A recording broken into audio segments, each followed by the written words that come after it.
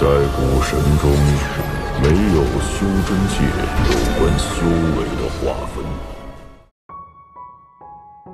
Sebelum menyimak alur cerita Renegade Immortal, sobat bisa menonton filmnya terlebih dahulu, agar mudah memahami alur ceritanya. Tanpa berlama-lama, lanjut ke alur ceritanya. Jiwa iblis yang keluar dari pria besar itu menatap iblis kuno yang terbentuk dari darah Wang Lin. Ia kemudian mengeluarkan pekikan tajam yang dipenuhi dengan kekuatan tembus. Jiwa iblis tiba-tiba tenggelam kembali ke dalam tubuh pria besar itu dan mata besar itu memperlihatkan api iblis dalam jumlah yang belum pernah terjadi sebelumnya. Dia kemudian mengambil langkah maju dan ilusi raksasa jiwa iblis muncul di belakangnya. Mata iblis kuno yang terbentuk dari darah Wang Lin menyala.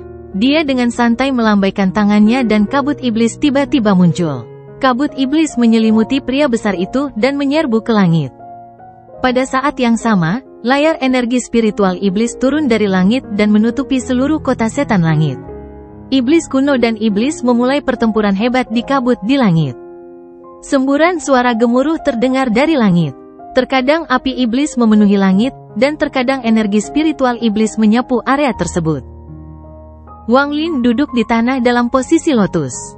Matanya menatap ke langit saat dia berkultivasi.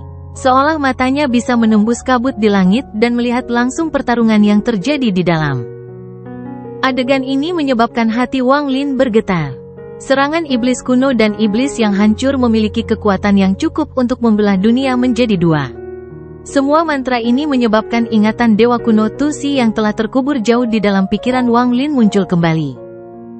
Mata Wang Lin menjadi semakin cerah. Saat dia terus menonton, dia benar-benar menyerah dalam berkultivasi. Sebaliknya, tangannya secara tidak sadar membentuk segel demi segel berbagai mantra dari ingatan Dewa Kuno Tusi. Meskipun dia membentuk segel ini, mereka tidak memiliki kekuatan serangan di belakangnya. Namun, pada saat ini, melalui hubungan misterius dengan jiwa asalnya, Kekuatan yang menindas meletus di sebuah planet kecil yang tak terhitung jumlahnya kilometer jauhnya dari Laut Roh Iblis Timur di luar tanah Roh Iblis. Tubuh asli dengan kepala penuh rambut merah tiba-tiba membuka matanya. Matanya tampak seperti berisi seluruh langit di dalamnya. Saat matanya terbuka, tangannya mulai bergerak membentuk berbagai segel. Rambut merah tubuh aslinya tergerai dan bintang di antara alisnya berkedip-kedip. Saat tangannya terus berubah, bintang-bintang mulai lebih sering berkedip. Lalu tangannya tiba-tiba terulur ke kedua sisi dan dia berkata, serap. Dengan satu kata, planet kecil tempat dia berada mulai bergetar. Untaian energi spiritual bergerak menuju kedalaman planet dan diserap oleh tubuh aslinya. Pada saat yang sama, Wang Lin juga melakukan gerakan yang sama di Demon Spirit Land. Dia menatap kabut tebal di langit dan perlahan menunjukkan senyuman. Pertempuran antara iblis kuno dan iblis yang hancur membuatku memahami beberapa mantra dewa kuno. Manfaat yang diperoleh tubuh asli tidak dapat diperkirakan. Pertempuran ini berlangsung selama tiga hari. Darah yang hilang dari Wang Lin telah terisi kembali, saat energi spiritual surgawi memutar tubuhnya dan misungsung tulangnya untuk menghasilkan lebih banyak darah. Saat energi spiritual surgawi beredar di sekujur tubuhnya, dia mencapai puncaknya. Sambil dengan tenang melihat ke langit, tangan kanannya membentuk segel dan dia menunjuk ke atas. Sungai dunia bawah tiba-tiba muncul di sekelilingnya. Anggota badan patah yang tak terhitung jumlahnya dapat dilihat di dalam sungai, dan terdengar ratapan terus-menerus dari sana. Iblis yang hancur, meskipun aku, Wang Lin, lemah, aku bukanlah seseorang yang bisa kamu bunuh begitu saja. Wang Lin menamparkan tasnya dan bendera satu miliar jiwa muncul di tangannya. Dia melemparkannya ke sungai bawah tanah. Ketika bendera satu miliar jiwa-jiwa memasuki sungai dunia bawah, 100 juta fragmen jiwa keluar. Mata Wang Lin menjadi dingin dan mengeluarkan bendera pembatasan. Meski tidak banyak batasan yang tersisa, Wang Lin tetap melemparkannya ke sungai bawah tanah. Setelah itu, itu adalah pedang surgawi. Meskipun Su Li Guo sangat tidak mau, dia tidak berani menolak Wang Lin saat ini. Dia hanya bisa menghela nafas tanpa henti di dalam hatinya, dan berpikir, lupakan saja. Kami telah kembali ke kota setan langit. Keindahan kecil itu telah menungguku selama 10 tahun, aku ingin tahu apakah dia setia. Saat dia memikirkan hal ini, dia dilemparkan ke sungai bawah tanah oleh Wang Lin. Yang mengikutinya adalah pedang bulan sabit. Kemudian Sol Lashar, sarung pedang, dan pedang moyang. Pada akhirnya, selain kereta perang dan lukisan misterius, Wang Lin membuang hampir semua harta yang dimilikinya ke sungai dunia bawah. Harta karun yang tak terhitung jumlahnya di dalam sungai dunia bawah membentuk kekuatan yang sangat kacau namun sangat kuat. Lalu Wang Lin menarik napas dalam-dalam dan menekankan jarinya di antara alisnya. 130 ribu helai energi pembantaian berubah menjadi 130 ribu segel kehidupan yang melindunginya. Matanya masih tertuju ke langit. Pada saat ini, matanya menyipit dan dia terbang ke langit tanpa ragu-ragu. Tangannya terulur ke tanah dan sungai dunia bawah terbang ke udara dan mengembun menjadi cahaya kuning. Tidak hanya membawa semua harta Wang Lin, itu juga berisi daunnya. Membawa lampu kuning, Wang Lin keluar. Pada saat ini, di tengah kabut tebal di langit, banyak bagian dari armor pria besar itu telah putus. Dia telah terpaksa mundur berkali-kali dan api iblis di matanya telah melemah, tapi dia terus mengeluarkan raungan gila. Mata iblis kuno yang terbentuk dari darah Wang Lin menyala. Pria besar itu batuk darah dan terpaksa mundur sekali lagi. Terima kematianmu, iblis kuno berteriak sebelum ilusi dirinya masuk ke dalam tubuh darah. Dia kemudian berubah menjadi sinar cahaya iblis dan mengelilingi seluruh tubuh pria besar itu. Dikelilingi oleh cahaya iblis menyebabkan jiwa iblis muncul kembali di antara alis pria besar itu. Iblis mengeluarkan pekikan tajam dan gelombang suara menyebar. Di bawah pengaruh gelombang suara, cahaya iblis berhenti sejenak. Kemudian jiwa iblis menatap iblis kuno itu dengan ganas dan kembali ke manusia besar. Di saat yang sama, pria besar itu mundur untuk melarikan diri. Wang Lin sedang menunggu saat ini. Dia menyerbu ke langit seperti meteor. Lampu kuning di tangannya bersinar, dan dalam sekejap mata, dia menyerbu ke dalam kabut tebal. Dia langsung menyerang pria besar yang mencoba meninggalkan jangkauan serangan iblis kuno. Saat dia mundur, pria besar itu memperhatikan pendekatan Wang Lin. Ada sedikit rasa jijik di matanya, karena dia tidak menganggap Wang Lin layak untuk diperhatikan sama sekali. Dia dengan santai melambaikan tangan kanannya ke arah Wang Lin saat dia mundur. Hembusan angin tercipta dari tangannya dan kemudian 130 ribu segel kehidupan di sekitar tubuh Wang Lin mulai runtuh. 10 ribu, 20 ribu, 50 ribu, 80 ribu. Saat segel kehidupan runtuh, mata Wang Lin menjadi dingin. Dia memaksa dirinya maju dan tiba di hadapan pria besar itu tepat ketika 130 ribu segel kehidupan runtuh. Lalu Wang Lin melemparkan lampu kuning di tangannya tanpa ragu-ragu. Pria besar itu mendengus dingin. Kemudian tangan kanannya mengepal dan meninju lampu kuning itu. Dia ingin menghancurkan lampu kuning ini, namun, saat tangan kanannya bertabrakan dengan cahaya kuning, ekspresinya berubah drastis. Ada terlalu banyak aura berbeda di dalam cahaya kuning, dan semuanya digabungkan secara paksa oleh untayan kesadaran I dan Dao. Entah bagaimana itu benar-benar membentuk kekuatan yang bisa mengancamnya. Jika semuanya normal, mungkin itu tidak akan terlalu mengancamnya. Namun, meskipun dia sudah terluka, dia baru saja memulai pertarungan hebat dengan iblis kuno hanya untuk menderita lebih banyak luka.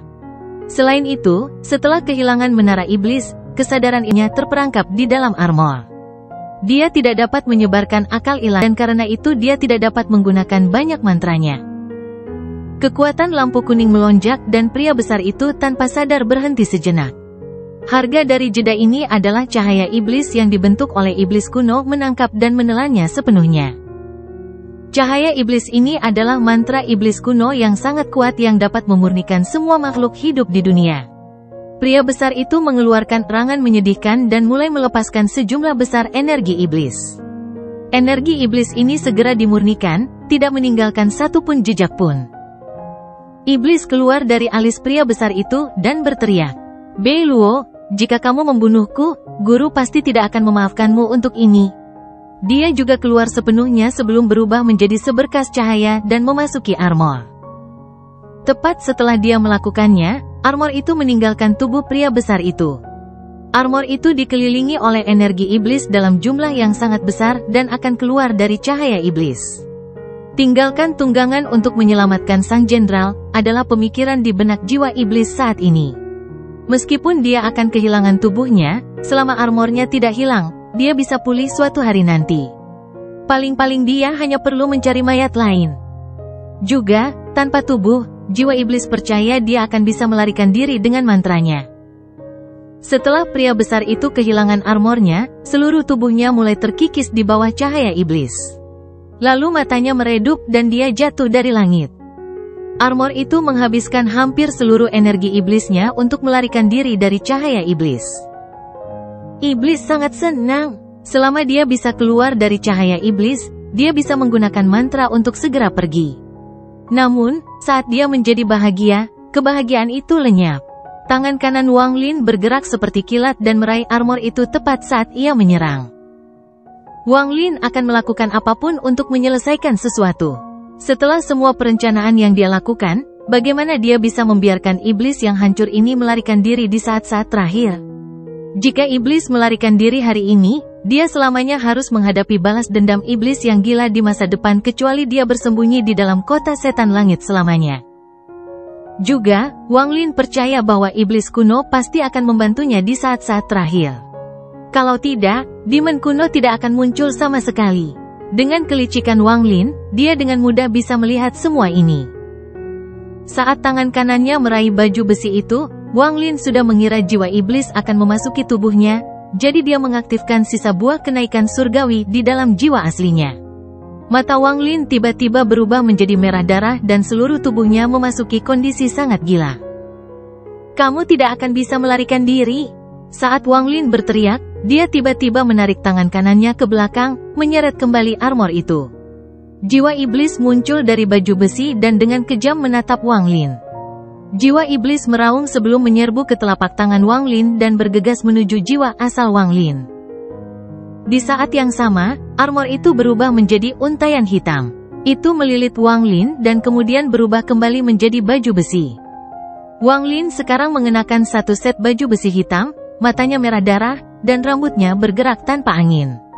Di dalam tubuhnya, jiwa asalnya telah mencapai puncaknya dengan bantuan buah Celestial Ascension. Dia memulai pertarungan dengan jiwa iblis yang telah kehilangan sebagian besar energi iblisnya. Cahaya iblis menghilang dan kembali menjadi bayangan darah iblis kuno. Dia memandang Wang Lin dengan kekaguman di matanya dan tersenyum. Strategi yang bagus, untuk Mi jiwa asal untuk membantu melawan jiwa iblis. Jika saya membantu Anda, maka saya akan melakukan apa yang Anda rencanakan. Tetapi jika saya tidak membantu Anda, maka pertempuran sebelumnya akan menjadi sia-sia. Kamu sudah memperhitungkan bahwa aku pasti akan membantumu. Bagus, ini adalah keberuntunganmu, jadi aku akan membantumu. Dia juga menangkap pria besar yang tubuhnya terkikis namun belum mati. Kemudian iblis kuno berubah menjadi seberkas cahaya dan menyerbu menuju Danau Naga di luar kota iblis langit. Di Danau Naga di luar kota setan langit, ada sejumlah besar tentara iblis yang menjaga Danau Naga sepanjang tahun. Ada juga banyak ahli tersembunyi di ibu kota yang menghabiskan waktu mereka berkultivasi di sini. Air di Danau Naga dipenuhi dengan energi spiritual iblis. Ada dunia lain di dasar danau. Layar energi spiritual iblis menghalangi jalan menuju gua bawah tanah. Ada patung di gua bawah tanah. Patung ini seluruhnya berwarna hitam dan tampak persis seperti iblis kuno. Saat ini ada cahaya iblis yang keluar dari mata patung itu. Ada kolam lain di bawah patung. Kolam ini tidak banyak mengandung cairan, tetapi cairannya menjadi sangat lengket. Wang Lin saat ini sedang duduk dalam posisi lotus di dalam kolam ini. Dia masih mengenakan baju besi, tapi matanya tertutup. Pria besar yang tampak seperti Ling Tianhou sedang duduk di depan Wang Lin. Dia benar-benar terbungkus dalam kristal ungu, dan erosi di tubuhnya perlahan pulih. Untayan cahaya iblis keluar dari patung dan memasuki tubuh Wang Lin. Setiap kali cahaya iblis memasuki tubuh Wang Lin, dia gemetar. Iblis di dalam jiwa asalnya telah ditekan dengan bantuan iblis kuno. Iblis saat ini sedang koma, tetapi tujuan Wang Lin bukan hanya untuk menekan tetapi juga untuk melahap. Dia akan melahap iblis yang tersebar ini untuk membantu meningkatkan budidayanya sendiri. Namun, iblis yang tersebar ini terlalu besar dan bukanlah sesuatu yang bisa dia telan dengan mudah. Wang Lin telah duduk di kolam ini selama beberapa bulan sambil perlahan melahap iblis, tapi dia masih belum berhasil melahapnya sepenuhnya. Meskipun demikian, Wang Lin terus menciptakan batasan yang tak terhitung jumlahnya dan menempatkannya pada iblis. Setelah beberapa bulan ini, pembatasan yang tak terhitung jumlahnya telah diberlakukan pada iblis. Juga, dengan bantuan iblis kuno, Wang Lin mampu meninggalkan jejak di jiwa iblis yang tersebar. Namun, iblis yang tersebar itu terlalu kuat, sehingga jejaknya sangat lemah. Hanya dengan berlalunya waktu, Wang Lin dapat terus mengukir jejak iblis sampai dia bisa sepenuhnya mengendalikannya. Pada hari ini Wang Lin membuka matanya. Ada kilatan cahaya jahat di matanya. Saya tidak dapat melahap iblis ini dengan kultivasi saya saat ini. Saya hanya bisa terus mengukir jejak pada jiwa iblis dan suatu hari nanti saya akan bisa mengendalikannya. Ketika saatnya tiba, daripada melahap iblis ini, pilihan lain adalah memurnikannya menjadi jiwa asal keduaku. Jiwa asal kedua adalah mantra unik yang dapat digunakan oleh para penggarap setelah mereka mencapai tahap ascendant. Namun, ini bukanlah mantra yang bisa digunakan semua orang dengan sukses. Alasan utamanya adalah embrio yang digunakan untuk jiwa asal kedua. Kekuatan embrio menentukan tingkat keberhasilan penciptaan jiwa asal kedua. Begitu seorang kultivator gagal menciptakan jiwa asal kedua, mereka akan terkena serangan balik yang kuat. Selain itu, jiwa asal kedua menyebabkan penggarap menderita kerugian besar, itulah sebabnya sebagian besar penggarap ascendant memilih untuk tidak memurnikan jiwa asal kedua. Tak satu pun dari para penggarap ascendant yang ditemui Wang Lin sejauh ini memiliki jiwa asal kedua, dan sangat sedikit dari para penggarap di atas ascendant yang ia temui memilikinya. Wang Lin berpikir, ini adalah salah satu iblis kuno yang tersebar. Hampir tidak ada embrio lain yang lebih cocok untuk menciptakan jiwa asal kedua. Saya 100% yakin saya berhasil menciptakan jiwa asal kedua dengan ini. Saat ini jiwa dan tubuh asalku telah sepenuhnya menyatu, memperkuat kultivasi ascendenku. Sekarang sudah tidak ada bahaya lagi, ada beberapa hal yang harus segera saya lakukan. Saya harus mendapatkan sisa energi pedang yang dibuat Ling Tianhou. Sia-sia saja mereka berada di tangan murid-murid sampahnya. Mata Wang Lin berbinar dan dia berdiri di dalam kolam. Baju besi di tubuhnya membuatnya tampak seperti Jenderal Iblis, dan dipadukan dengan rambut hitam panjangnya yang tergerai, itu memberinya perasaan iblis. Setelah menyentuh baju besi itu, ada sedikit kegembiraan di mata Wang Lin. Set baju besi ini sangat kuat. Ada lapisan tebal energi iblis yang keluar dari armor itu. Namun, sayang sekali Wang Lin tidak bisa menyerapnya. Meski begitu, jika aku menggunakan jari iblis dengan armor ini, aku khawatir itu akan lebih kuat dari sungai dunia bawah milikku. Tingkat kultivasi saya tidak cukup tinggi untuk membuat baju besi ini mengakui saya sebagai tuannya, jadi saya hanya dapat menggunakan sebagian dari kemampuannya. Namun, setelah aku menyaring iblis yang tersebar ke dalam jiwa asalku yang kedua, aku akan dapat menggunakan kekuatan penuh dari armor ini. Wang Lin menyentuh baju besi itu sebelum mengeluarkan gelang dari tasnya. Saat gelang ini muncul, itu berubah menjadi seberkas cahaya hitam yang melingkari lengan Wang Lin dan terbentuk. Apakah kamu akan pergi? Suara iblis kuno datang dari patung. Wang Lin berbalik. Dia menggenggam tangannya ke arah patung itu dan berkata, Iblis kuno senior telah membantuku tiga kali sekarang. Saya akan mengingat ini di hati saya.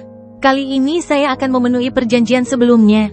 Namun, sebelum ini, ada beberapa hal yang perlu saya selesaikan, dan saya memerlukan bantuan senior iblis kuno. Iblis kuno merenung sejenak sebelum perlahan bertanya, apa yang penting? Wang Lin merenung sedikit sebelum menamparkan tasnya. Dia mengeluarkan pagoda yang diberikan Zoe padanya saat itu. Saya ingin menemukan roh pedang. Saya meminta bantuan senior iblis kuno untuk menemukannya. Iblis kuno menyebarkan akal sehatnya dan berkata, tidak ada kehadiran roh pedang ini di negeri iblis langitku. Sedangkan untuk tempat lain, saya tidak tahu. Negeri roh iblis terlalu besar untuk aku cari. Jika Anda dapat membantu saya mengambil salah satu iblis kuno, saya akan dapat menggunakan mantra pencarian jangkauan luas setelah saya menyerapnya. Saat ini mustahil bagiku untuk melakukannya dengan kekuatanku saat ini. Jika Anda memiliki menara iblis kuno, anda dapat menyebarkan akal Anda juga. Wang Lin menarik pagoda itu dan mengangguk. Kemudian dia menunjuk pria besar yang dikelilingi kristal ungu dan berkata, saya ingin orang ini. Kali ini iblis kuno merenung lebih lama dan kemudian berkata, Aku akan memberikannya kepadamu, tetapi kamu harus mengambil iblis kuno untukku dalam waktu 100 tahun. Mata Wang Lin berbinar dan dia mengangguk. Saya ingin memasuki warisan iblis kuno dan memahami alam misterius itu, menggunakannya untuk menyempurnakan mantraku. Masalah ini tidak sulit, tapi saya sudah berkali-kali membantu Anda dan memenuhi janji saya kepada Anda.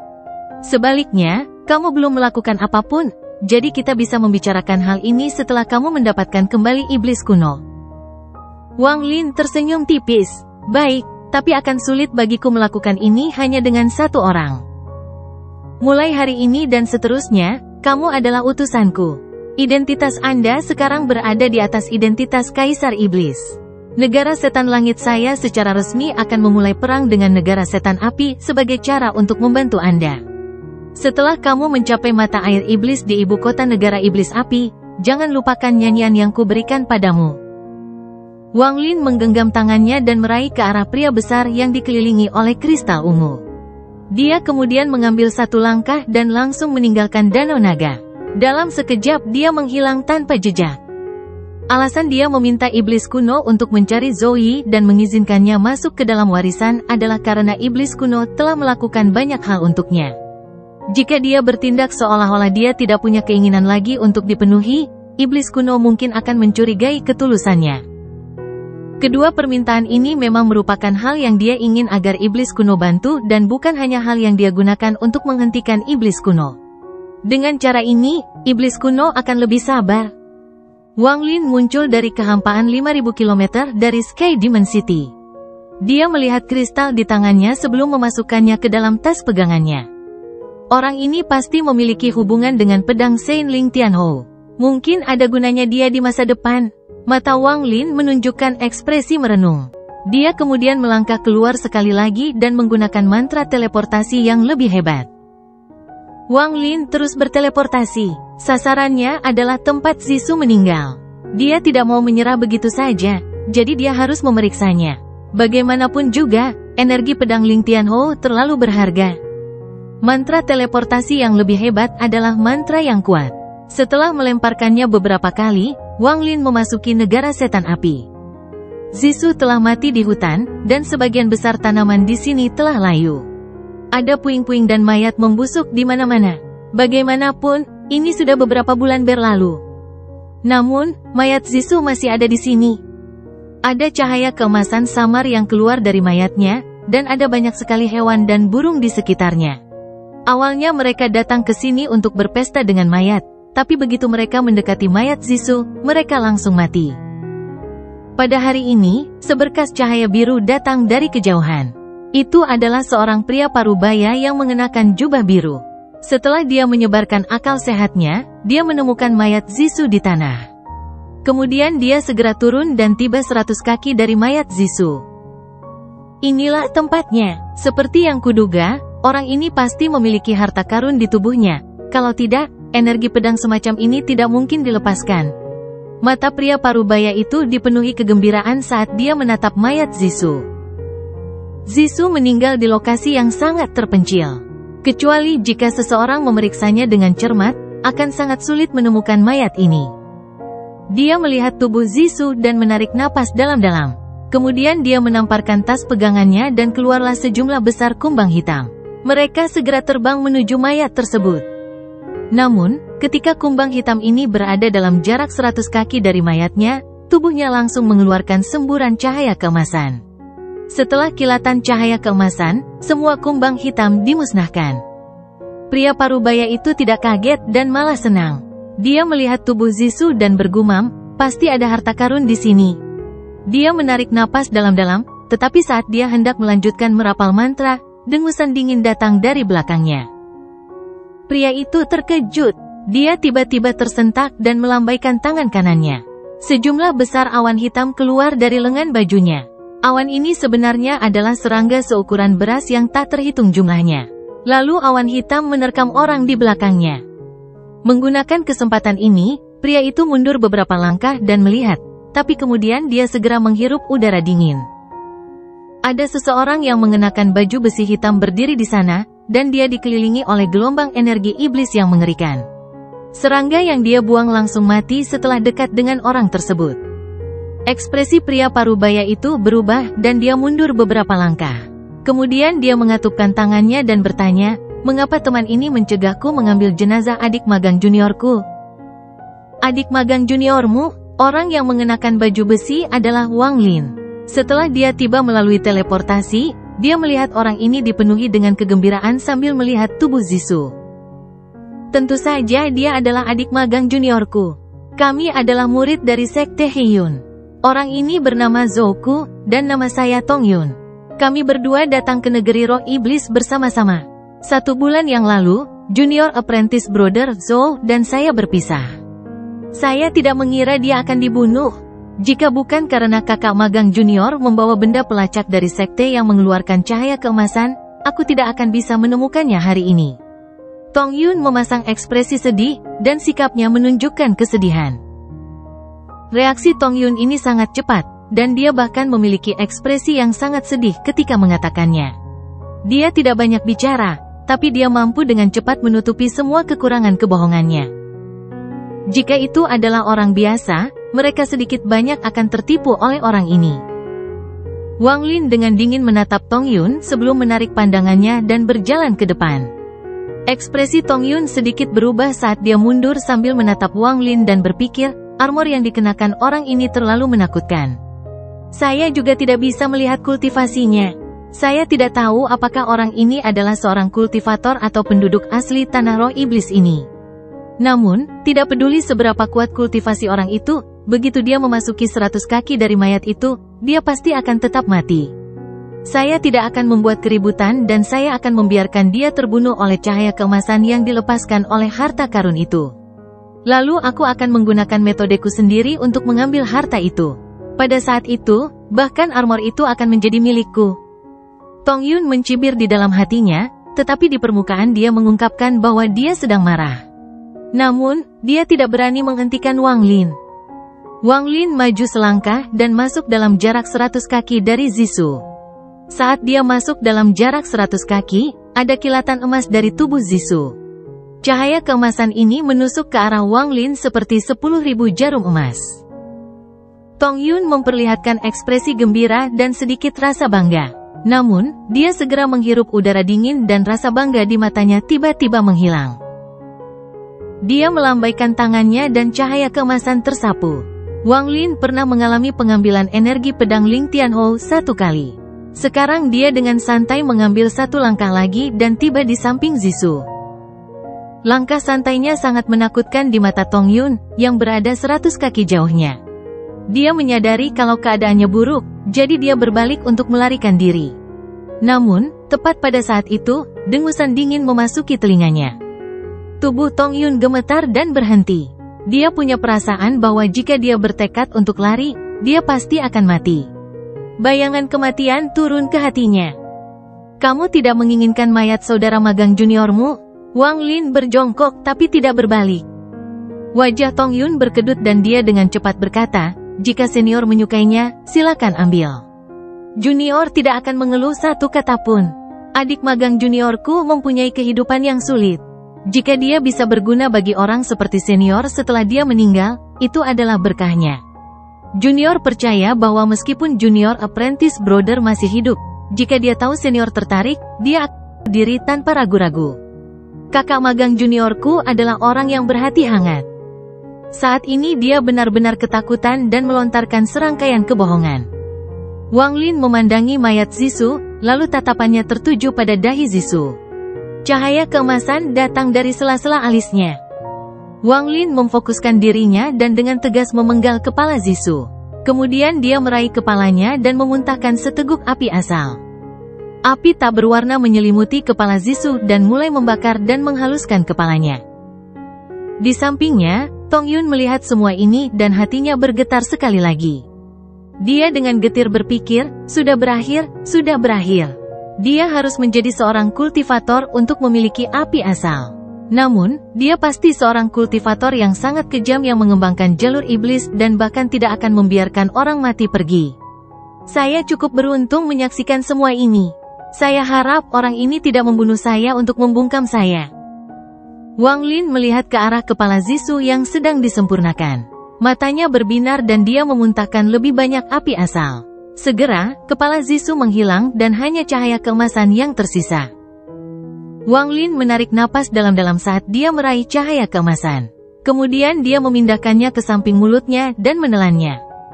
Kemudian kaki kirinya mengangkat tubuh Zisu dan menendangnya ke arah Tong Yun. Dia berkata, inilah tubuh saudara magang juniormu kembali. Beri dia penguburan yang layak. Wajah Tong Yun sangat pucat. Ada ketakutan karena lolos dari bencana saat dia segera menangkap mayat tersebut dan berkata, iya terima kasih senior. Terima kasih senior. Dia segera pergi dengan mayat di pelukannya. Baru setelah dia berada puluhan kilometer jauhnya dia menghela napas lega dan mendapati dirinya basah oleh keringat dingin. Dia merasa sangat benci ketika dia melihat mayat tanpa kepala di tangannya dan melemparkannya ke samping. Dia kemudian melambaikan tangan kanannya dan awan hitam besar muncul. Awan hitam menutupi jenazah, dan dalam sekejap seluruh jenazah, termasuk tulangnya, habis dimakan. Itu semua salah mayat ini. Saya hampir kehilangan nyawa saya di sana. Meskipun tingkat kultivasi senior itu tinggi, pikirannya agak lambat.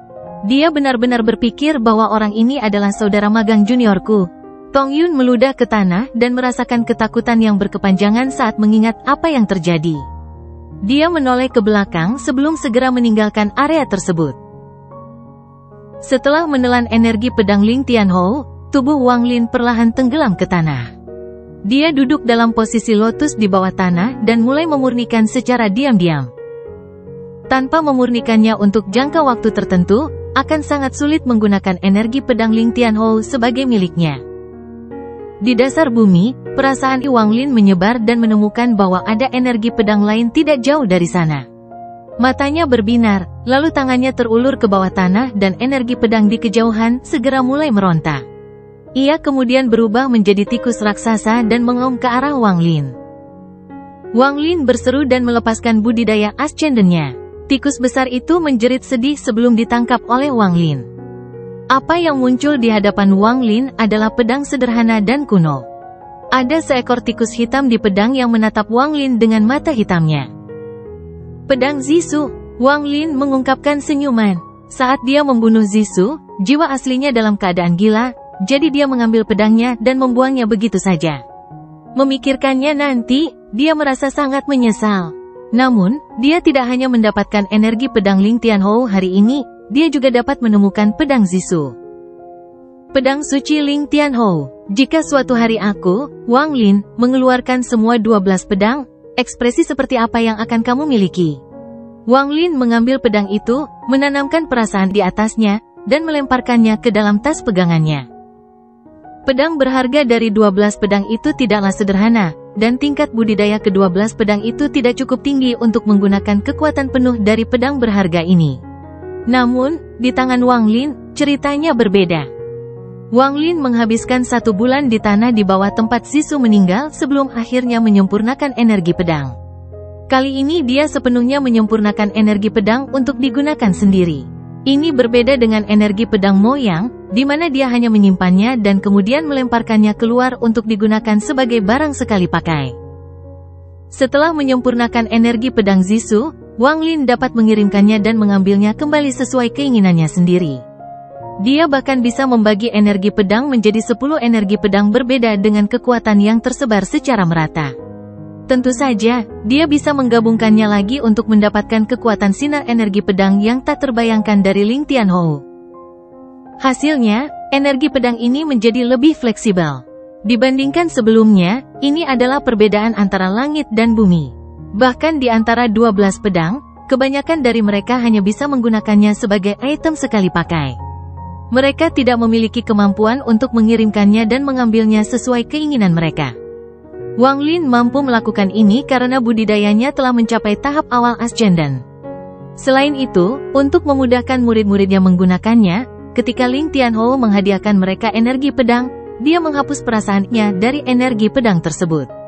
Itu membuat mereka menjadi barang tanpa pemilik. Hanya dengan melakukan ini, Ling Tianhou melindungi murid-muridnya lebih dari yang dilakukan Sang Maha Melihat. Dia akan memberi murid-muridnya seberkas energi pedang yang kuat. Sedangkan Yang Maha Melihat hanya memberi murid-muridnya sesuatu yang hampir tidak memenuhi syarat sebagai harta yang menyelamatkan jiwa. Sebuah peristiwa besar terjadi di Demon Spirit Land selama bulan yang dihabiskan Wang Lin untuk berkultivasi di bawah tanah.